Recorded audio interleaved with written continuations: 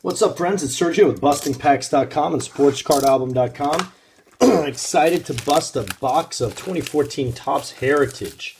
Uh, as it mentions on the box, this is a, uh, kind of a throwback to the 1965 design. Heritage is a really popular product, particularly among set collectors. Um, but uh, although a lot of people call it a low-end product, it actually has some high-end uh, stuff inside. So each box comes with a uh, box loader, top loader kind of thing. Uh, it's going to be an original 1965 card. Uh, some of them have ad panels, which have three players on them. Uh, they've got stamped buybacks. Let's see, this is tough to open without bending the card inside. They've got Topps Presidents, Famous Americans. They've got relics, autographed versions. This obviously is going to be a relic. So we got a Billy White, one uh, number 190. Look at that. First base, Bill White with the 50th anniversary stamp on it. Let's see if we can't get a better high HD look at that card. Bad centering, bad corners, but it's still beautiful to pull a 1965 card uh, out of a modern day pack. So very cool, and you're going to see that the this year's Heritage product is based on this design with the pennant in the front and all of that stuff. So Moving on. we'll go ahead and just do it out of the box like we're at a card shop. So 1965 design. Uh, we're going to have 24 packs in a box, 9 cards per pack, so I'm going to talk fast. Uh, and you've got uh, one auto or memorabilia card per box. So you can see here, see here a good look at the design. Uh, here's a nice Nolan Ryan looking back to you know his first cards. Um, the most popular thing about this, I mean, for set builders, this is actually a really, really tough set to complete because you're going to have a lot of variations, a lot of short print parallels. So there are 500 total cards in the set. Uh, final 75 are short prints, but they've got a lot of different types of short prints. They've got action variations, logo variations, errors, and throwback uniforms all of which come at completely different um, odds. So it's actually really, really cool. Uh, I'm probably going to miss some of these during the box break if we get any, but these things actually sell for good money. So that tells you that there's enough people going out and uh, trying to complete these sets that uh, they are competing for the super short prints. For instance, that the logo variations I think are like one in 135 packs action variations. So you'll look, you'll see how they've got the dudes just totally chill, kind of uh, photo studio photography. Then they'll have variation where they're in game pitching or hitting or something like that. So you got those action variations, just one in 23 packs. Uh, but the logo variation, so right here you'll see this Detroit Tigers logo and you might see a card with a player that has a different one, or for the Miami uh, uniform, you might have it without the word Miami underneath it. And so those are going to be variations. Logo variations are 1 in 135 packs, so essentially 1 in 5 hobby boxes or so, uh, 5 plus. Errors, like the errors are funny. The error cards are 1 in like 1,473, almost 1 in 1,500 packs. You got Joey Votto listed as a pitcher instead of first baseman. You've got uh, Andrew McCutchen where on the back of the card in his stats it says Pittsburgh instead of Pittsburgh. They put a random P in there. Uh, and then you've got uh, Mark Trumbo, born in 1927, and some of those things are going for 80 bucks, you know, 100 bucks. They're just going for crazy, crazy prices. so there's, uh, you know, I'm not sure which ones we'd have to look at some more uh, some more of these things to really see. Now, when you go to bustingpacks.com to see the full review of this, I've actually put together a couple of documents that you can print out and keep on your desk. Um, thumbtack them up on the wall if you're completing the set. This shows actually all of the variations, all the short prints uh, for the logos, for the error cards, uh, and for the uh, throwback uniforms. So the throwback uniforms I forgot to mention, those are actually the rarest of the short prints. As far as I know, they're one in over 3,000 packs. So we probably won't get any of those. Okay, so here is uh, Ryu Hyun Jin. So he does have an action photography parallel. And I remember from making the the documents from uh, for the website, you know, this one he's just looking chubby like he just ate a donut. The other one is him in the middle of pitching, so he actually looks athletic instead of the, you know, chubby donut kid. He looks really, really happy. like, oh man, somebody, somebody's eating the last donut, guys. Sorry. He just, uh, I think he looks hilarious there. Manny Machado laughing it up.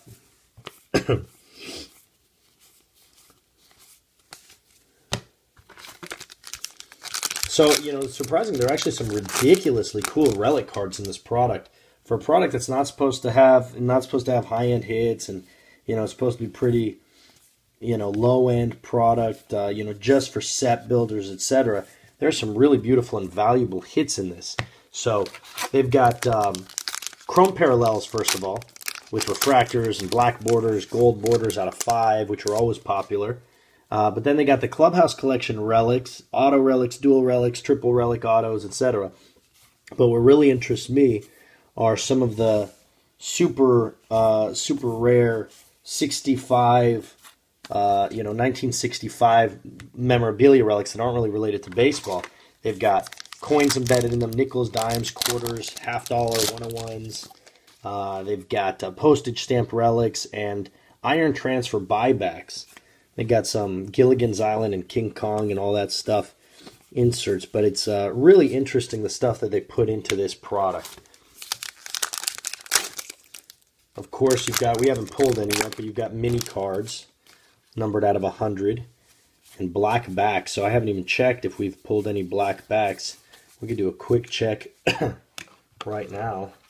So far, halfway through the box, does not look like it. it looks like they are all black, uh, blue. Oh, by the way, so one quick way, the easiest way to actually tell if you've got a variation is to look on the back. So on the back here on the very, very bottom right in tiny, tiny, tiny print, see if you can focus on this.